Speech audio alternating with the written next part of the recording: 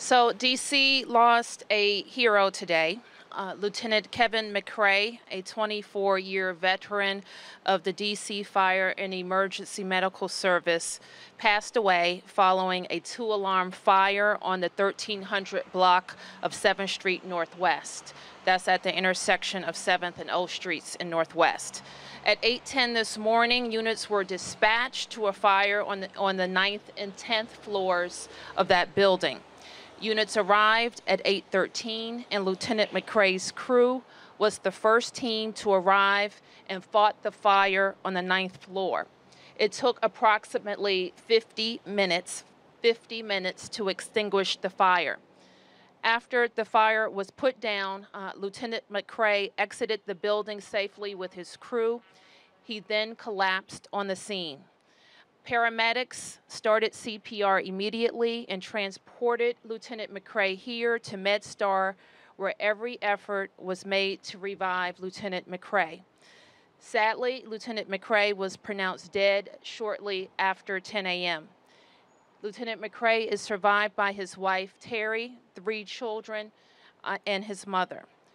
Lieutenant McRae joined the fire department as a member of Cadet Class 4 on July 31st, 1989. He was 44 years old. In July 2007, uh, Lieutenant McRae's cousin, firefighter James McCrae, um, also passed away in the line of duty as a fire department employee. Today is a day to mourn the passing of the lieutenant and comfort members of Engine 6 who lost a brother and a leader.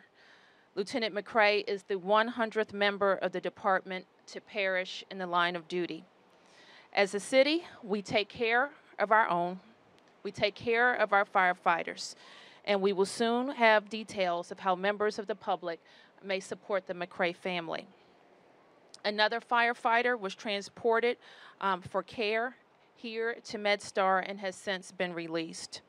Two civilians were also transported to area hospitals with non-life threatening uh, injuries. We will have more details on residents who were dis displaced um, because of today's fire, but they are also um, receiving services from the American Red Cross. I am joined today by Councilmember Kenyon McDuffie, City Administrator Rashad Young, Deputy City Administrator Kevin Donahue, and the Acting Fire Chief Gregory Dean. Uh, we will uh, hear from uh, Fire Chief Dean, um, and as well as MedStar's Jeff Dubin. Um, the fire chief will tell you a little bit more about the response to the fire, and uh, Dr. Dubin will be able to answer any questions related to um, care rendered to Lieutenant uh, McRae. Fire Chief. Thank you. We're here to support the McRae family. Fire, uh, Lieutenant Kevin McRae was at, at a working fire this morning over on the 1300 block of 7th Street. The uh, fire went to a multiple alarm, two alarm fire, uh, two minutes after the crews arrived on scene. Lieutenant McRae and Engine 6 are the uh, first firefighters on the fire floor. They're responsible for putting out the fire. As they exited the building, Lieutenant McRae collapsed and uh, we, the medics on scene were able to administer immediate care for him as well as the doctors here at the hospital. We, as we go forward, the department will be doing an internal review of this, uh, of this event, as well as working with NIOSH and some of the other federal agencies to ensure that we do a full review and we get lessons learned from this event. Let me introduce Dr. Dubin. Hello, my name is Dr. Jeff Dubin. I'm the chair of the emergency department at MedStar Washington Hospital Center. And first off, I, on behalf of the hospital, the members of the emergency department, I'd just like to express our condolences for the family of Lieutenant McRae. Uh, everyone is so sorry to, to see this have happened to him. And as the mayor and chief just said, uh, unfortunately, Lieutenant McRae collapsed outside of the building. He was immediately provided care by the paramedics and the firefighters who were on scene. Uh, CPR was started immediately. He was transferred to our emergency department where we continued trying to save him, trying to resuscitate him. We used everything that we had. All the resources available were used, and unfortunately, despite everything that we did, uh, Lieutenant McRae died unfortunately today. Thank you, Doctor. I also want to thank uh, Councilmember Kenyon McDuffie, uh, who arrived to the hospital um, shortly after we did uh, to to support, of course, the McRae family, but also to speak um, for the council in his role as chairman of the Oversight Committee for the Judiciary. Councilmember. Thank you, Ms. Mayor. Uh, today's truly a sad day. Uh, it's a sad day for the entire McRae family. It's a sad day for the entire district. Uh, it's a sad day for the more than 2,000 brave men and women in our fire and EMS department. And it's a painful reminder of just how high the stakes are for those men and women. It's a painful reminder that every day that they go to work, they risk their lives to try to save others' lives. And I just want to make sure that we all remember that. I want to thank Lieutenant McRae for his years of dedicated service to the District of Columbia. I want to make sure we all keep the McRae family and our thoughts and prayers. Take any questions. Mark? Yes, the family is uh, here. Uh, members of the fire department went to pick up uh, Lieutenant McRae's wife and mother. Uh, I was able to meet with them, of course. Uh, He has a brother was here and at least one of his children. Well, they're devastated, um, as is the his other family, uh, which is the fire department and his crew, and uh, it's pretty shocking. And it's uh, compounded, I believe, because this family endured another in the line of duty death of Lieutenant McRae's cousin in, in the not too distant past. children, you know? I don't know their ages, I'm sorry. He has at least one who appeared to be adult son, but I think he also has smaller children. I'll go to Paul and then, then you. Yes?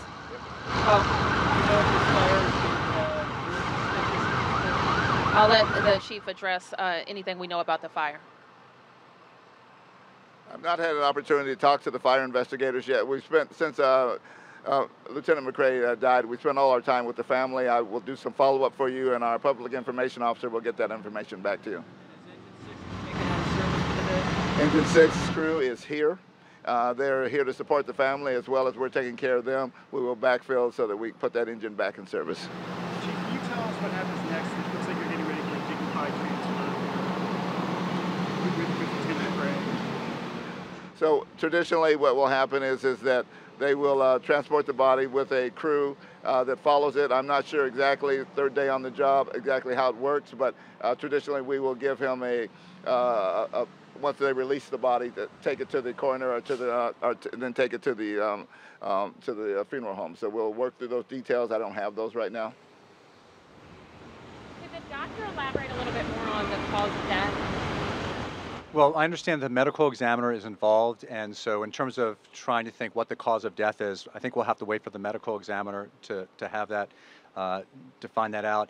I will say that way things look, we would call this a sudden death, which unfortunately affects, you know, four or 500,000 people in, in the United States every year.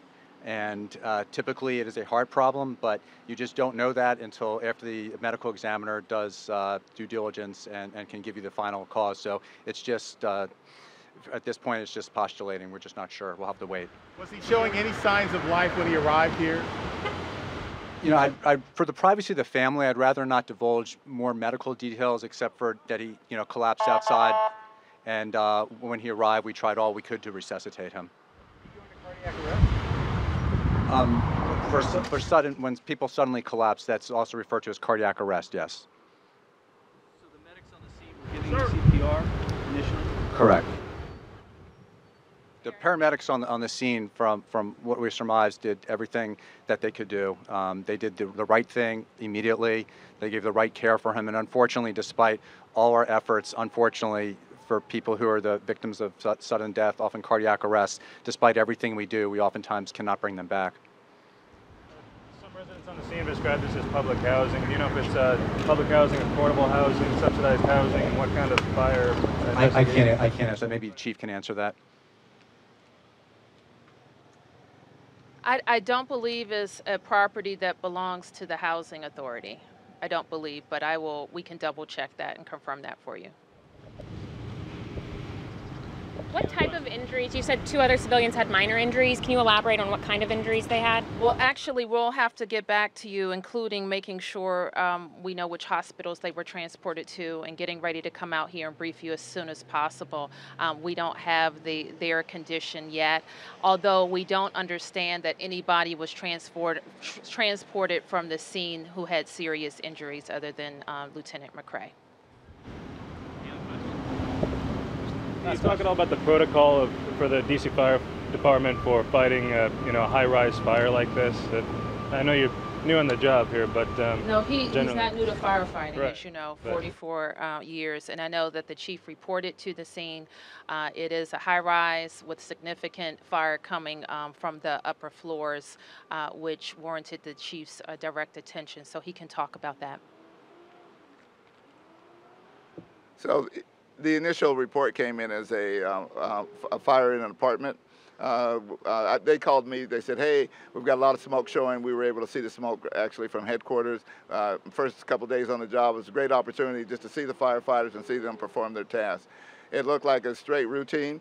Uh, they uh, they entered through the lower floors to the firefighting floor. They also had ladders up to protect the exposures as well as be able to escape the building if they needed to. Um, everything was routine right up until uh, Lieutenant McRae exited the building and collapsed. I would like to also uh, make sure that I thank the hospital and Dr. Dubin and, those guys because they did an incredible job trying to work as long as they could to ensure this firefighter had every chance that he had that he could.